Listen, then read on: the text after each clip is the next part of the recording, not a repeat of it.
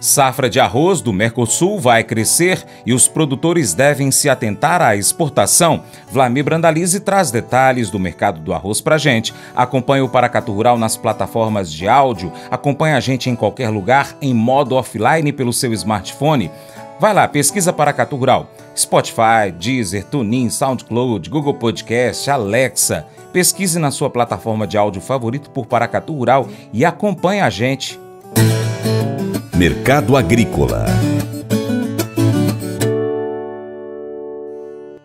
O diretor jurídico da Federação das Associações de Arrozeiros do Rio Grande do Sul, a Federarroz, Anderson Beloli, participou de uma audiência pública no Supremo Tribunal Federal, STF, em Brasília, Distrito Federal, que faz parte dos debates da Ação Direta de Inconstitucionalidade, ADI, que visa revisar a tributação sobre os defensivos agrícolas. Durante o seu discurso, Beloli também ressaltou a complexidade das condições de produção enfrentadas no seu estado e enfatizou a importância de um debate mais profundo e realista sobre a oneração desses insumos para a sustentabilidade do agronegócio, especialmente em regiões que já lutam contra as adversidades climáticas. Rafael Mendonça traz mais detalhes sobre a participação da Federa Arroz, direto da nossa redação.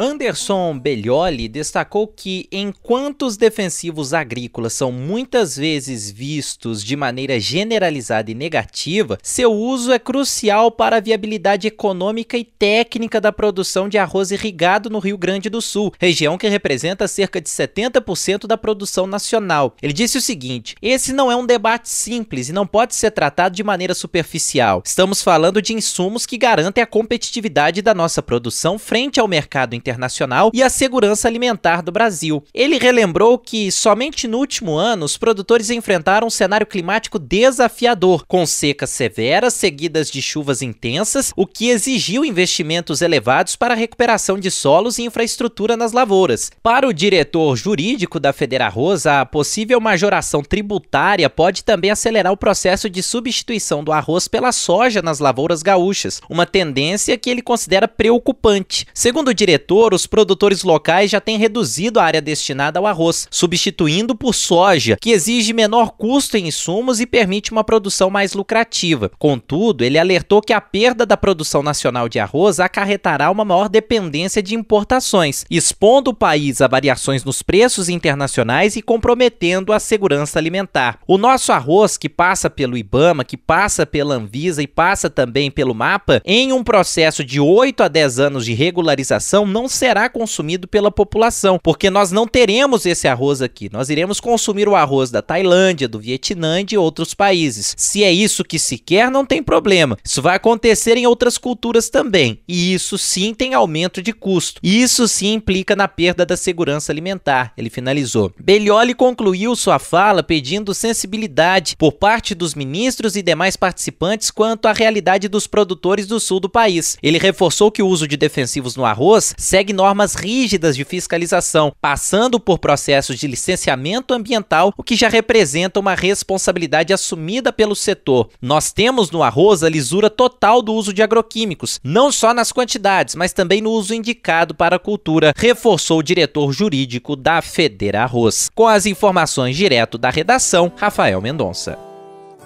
Em meio a um cenário de calmaria no mercado, os produtores de arroz têm priorizado as atividades de plantio.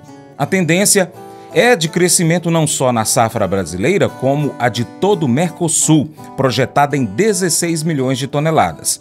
O consultor Vlamir Brandalize chama a atenção para o volume do cereal nesta colheita, que será expressivo. Cabe ao produtor escolher o melhor negócio e se atentar às exportações.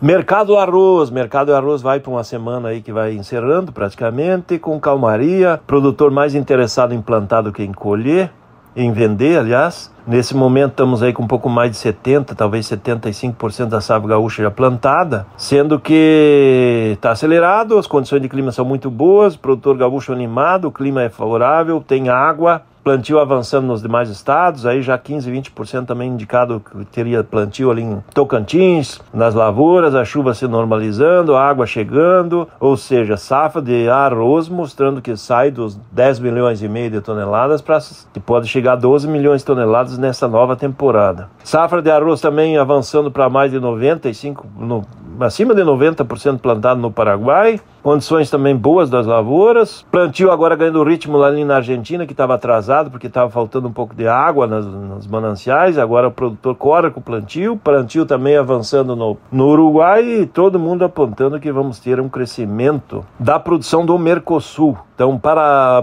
entre Brasil, para Argentina, Uruguai e Paraguai, as indicações do momento, a somatória de 16,4 milhões de toneladas de potencial. Alguns apontam até 16,7 milhões de toneladas que poderia colher. A última safra foi de perto de 13,7 milhões de toneladas. Todo mundo crescendo. E aí obriga o setor a ficar de olho aí em novos negócios da exportação, do beneficiado, do casca. Não dá para parar, ficar esperando aí chegar a colheita e vir aquele mundaréu de arroz aí que vai abarrotar as indústrias, a indústria não tem tem capital de giro, tem que começar a buscar alternativa aí para dar giro aí tanto a indústria como o produtor.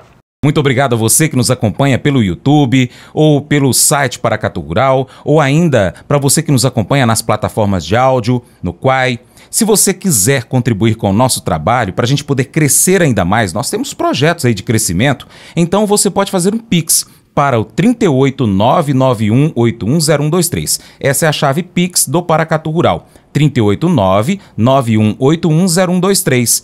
Qualquer valor, não precisa ser todo mês, mas se você puder, vai ser de grande ajuda. Assim você vai contribuir com o nosso trabalho e a gente vai conseguir investir ainda mais e trazer muito mais informações para você. Nós temos vários projetos aí e que com a sua ajuda a gente vai conseguir realizar. Muito obrigado, hein? Deus te abençoe. Felicidade requer deixar para lá e aprender a perdoar. Preocupações não mudarão o passado. Então esqueça o que não pode ser mudado e foque no futuro.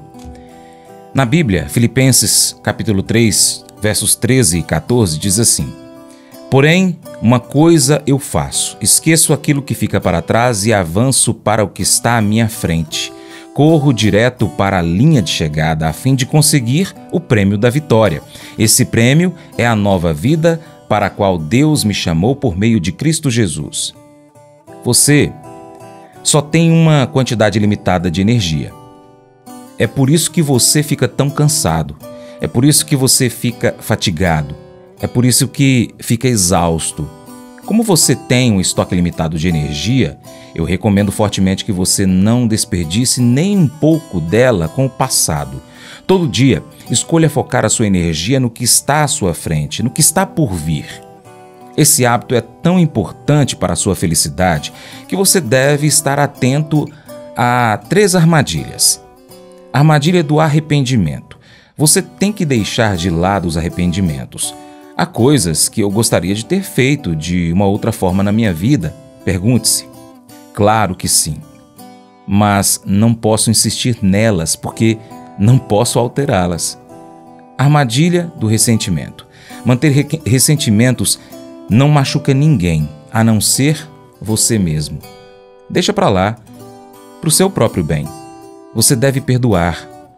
A pessoa merece isso? Não. Mas você merece o perdão de Deus? Não. Aqueles que experimentaram a graça concedem graça armadilha da tradição. Tudo está em constante mudança e você não pode impedir isso. Você tem que decidir se vai resistir e ficar ressentido com as mudanças ou se será feliz.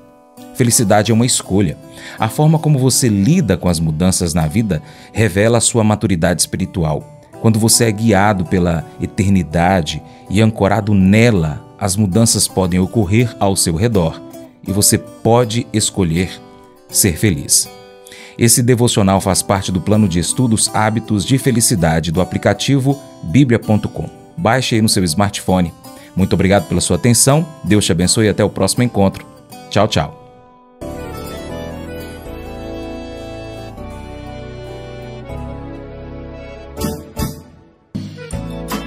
De manhã para prosear no mundo do campo, as notícias escutar. Vem com a gente em toda a região com seu programa Paracatu Rural. Tem notícias, informação e o mais importante, sua participação. Programa Paracatu Rural. Programa Paracatu Rural.